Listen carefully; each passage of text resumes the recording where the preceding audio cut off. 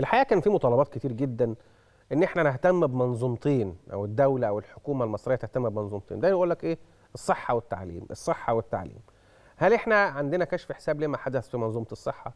منظومة التأمين الصحي الشامل بتعتبر نقلة نوعية حقيقية وحضارية في تطوير خدمات الرعاية الصحية في آه، عدد كبير جدا من المستشفيات الحكومية المصرية. هذه الخطة وهذا أو هذه المنظومة وفرت مظلة تأمين طبي لكل مواطن مصري عنده رقم قومي لأن الدولة هتتكفل فيها بسداد اشتراكات ورسوم غير القادرين.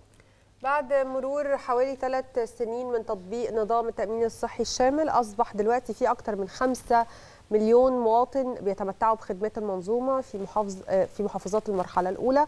ده غير أنه في إجراء 270 ألف عملية تحت مظلة التأمين الصحي الشامل وفقا لأعلى من المعدلات والمعايير العالمية وكمان باستخدام أحدث التقنيات الطبية.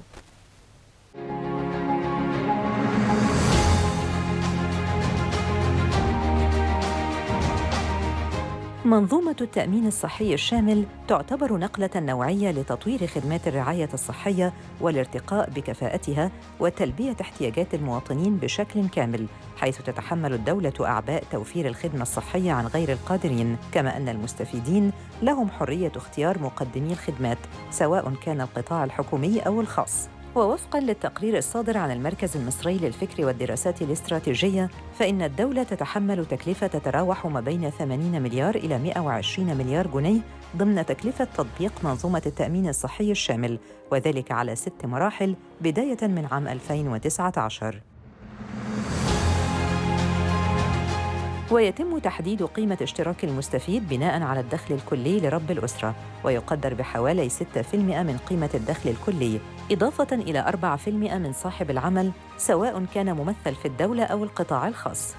وهذا الاشتراك يمثل نحو ثلث التكلفة الإجمالية للمشروع في حالة التطبيق الكلي لنحو 90% من السكان.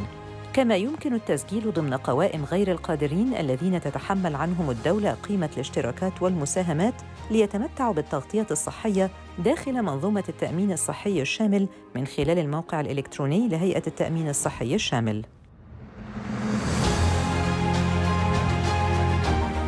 وبعد مرور ثلاث سنوات من تطبيق نظام التأمين الصحي الشامل الذي بدأ بمحافظة بورسعيد فقد تم تسجيل أكثر من خمسة ملايين مواطن بالمحافظات الست للمرحلة الأولى لمنظومة التأمين الصحي الشامل.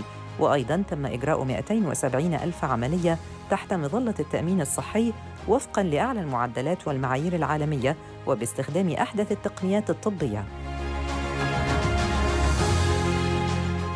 هذا بالإضافة إلى إجراء أكثر من 2.5 مليون فحص طبي شامل لمنتفعي التأمين الصحي بالمحافظات والذي تم إجراؤه بشكل سنوي لكل منتفع بالمنظومة الجديدة وذلك بهدف المتابعة الدورية والمستمرة والكشف المبكر عن الأمراض ومسبباتها وحرصاً على سلامة وصحة المواطنين.